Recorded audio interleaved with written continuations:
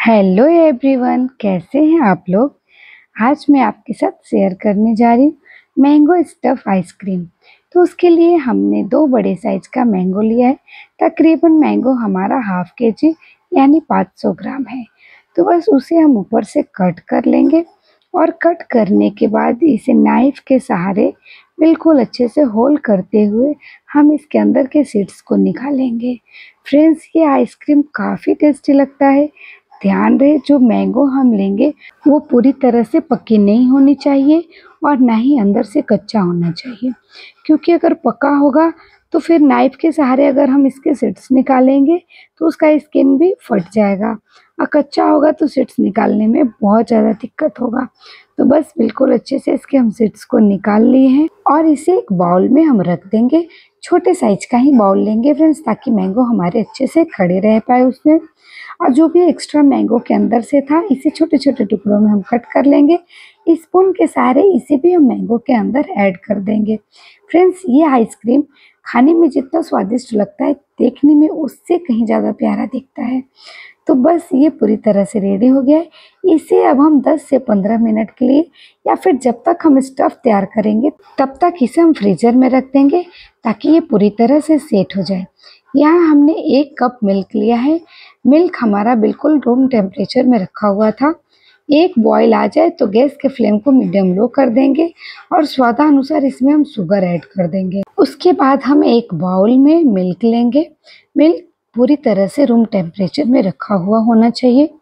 Friends इसमें हम दो चम्मच मिल्क पाउडर ऐड करेंगे। ये पूरी तरह से ऑप्शनल है। अगर आपके पास मिल्क पाउडर नहीं है तो यहाँ पे मिल्क का आप क्रीम भी ले सकते हैं। और इसमें एक चम्मच हम कस्टर्ड पाउडर लिए वो भी वनीला फ्लेवर का। बिल्कुल अच्छे से इसे मिक्स कर लेंगे, ताकि इसमें एक भी लंग्स ना रह जाए। तो बस बहुत अच्छे से मिक्स कर लिए।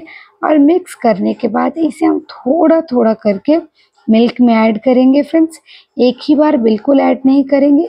नहीं तो ये गाढ़ी गांठ बन जाएगी।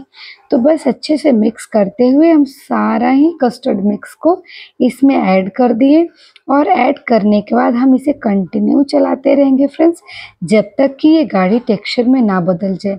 तो बस देखिए, ये अच्छे से गाढ़ी होने लगी है। अब हम गैस के फ्लेम को बंद कर देंगे। इसे अब ठंडा होने के लिए एक बाउल में निकाल देंगे। एक बाउल में निकाल के जब तक ये अच्छे से ठंडा हो जाएगा, तब तक इसे हम स्टफ़ नहीं करेंगे। तो बस बिल्कुल अच्छे से ये ठंडा हो गया है। अब हम अपने मैंगो को निकाल के लाएँगे, जो हमने फ्रीज़र में रखा था। मैंगो भी बिल्कुल अच्छे से सेट हो गया है फ्रेंड्स। अब स्पून के सहारे इसमें जो हमने स्टफ़ तैयार किया है, कस्टर्ड मिल्क तो बस इसके अंदर हम ऐड करेंगे। ऐड करने के बाद इसके ऊपर के कवर को अच्छी तरह से लगा देंगे और बिल्कुल अच्छे से इसे अब हम क्लीन कर लेंगे। फ्रेंड्स अगर आप मेरे चैनल पे नए हैं तो प्लीज़ इसे सब्सक्राइब कर लीजिएगा और बेल आइकन को प्रेस ज़रूर कर लीजिएगा ताकि नई वीडियो आप तक जाती रहेंगे। तो बस इसे अब हम फ्रीज़र में रख देंगे और पाँच से छः घंटे के लिए इसे छोड़ देंगे।